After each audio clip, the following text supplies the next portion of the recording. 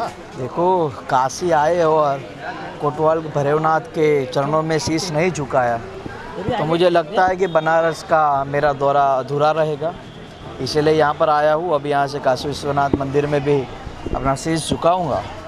आशा रखता हूँ कि यहाँ की जनता की, लोगों की सेवा की काफ़ी कुछ बातें हो और लोगों के हित में हम काम करते रहे। मैंने कल भी कहा था कि इस देश के संविधान को बचाना है।